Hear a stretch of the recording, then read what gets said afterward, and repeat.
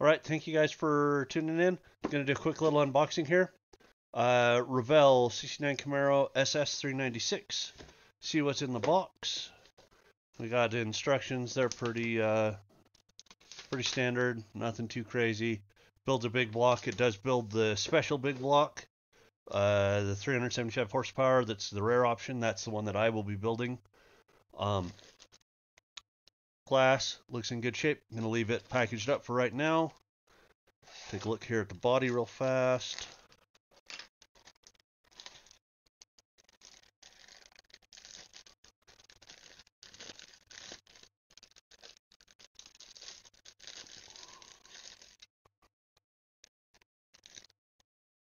Got a got a mold line that comes across there. Nothing crazy. One that comes across the top of this fender.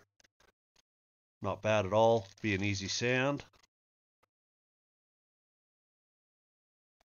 The depth of everything could use a little bit more.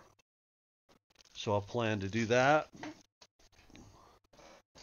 When I build, should be should be pretty simple, pretty easy. Let's go and look at the rest of our stuff.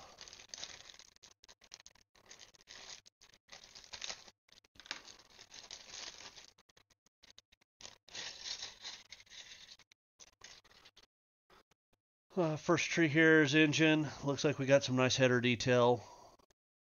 Head detail's pretty decent. Big block and a four-speed car. Be kind of a fun car, honestly. Second, uh, it's got the SS hood on it, so it's got a little bit of raise, and it's got the two chrome pieces in it.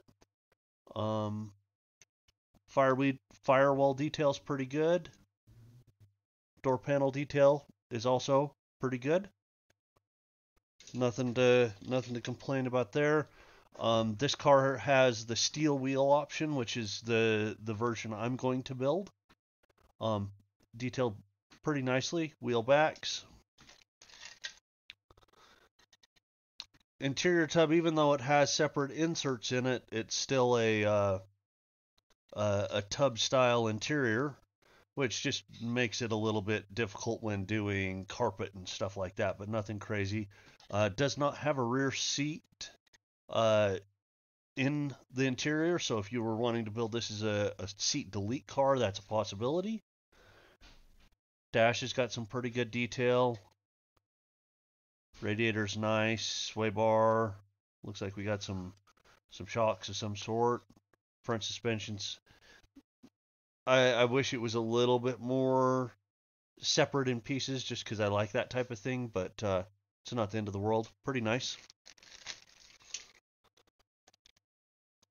Bottom tray, pretty good. They put the the uh, Revell tag down here in a spot where you're going to put a, a, rear end and a bunch of stuff over the top of it, so you won't be able to see that. There's your rear seat. That's uh, going to be nice to detail, so that's not a problem.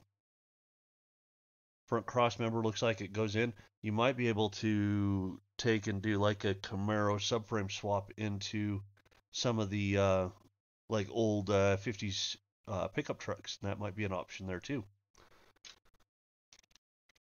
Uh, We've got a spoiler, uh, rear valance panel, which I think I'm probably going to install that prior to uh, paint so that I can bodywork around it and and have that come in there nice.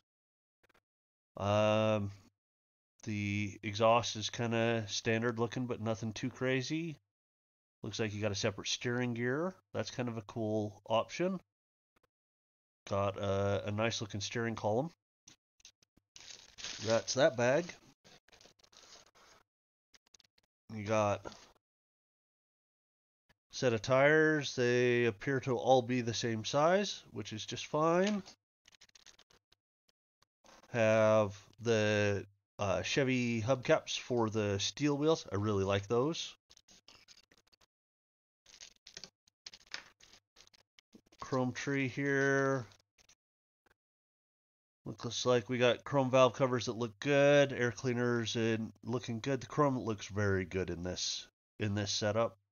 Rally wheels, which it could get rally wheels. I have not decided on that. If I do decide to do the the RS grill in it, that would uh, it would get rally wheels for sure on it. Um, I don't like the two-piece carburetor, but gonna roll with it on this on this build for sure.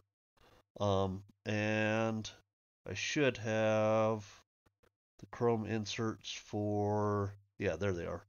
Here's chrome inserts for your hood. Not bad, not bad at all. Um, got two different styles of taillights, whether they're open or whether it's got a slot in the back. Uh, the difference of RS to SS. Looks like a really good kit. Um, I built one of these, not this version of it, uh, back in the 90s when I was a kid, and uh, I think that I had a good time building it. I built the Z28 version with the small block with the cross ram in it. Um, the decal sheet looks really, really good. It's got both of the hockey stripes to to work for either any color that you're working with.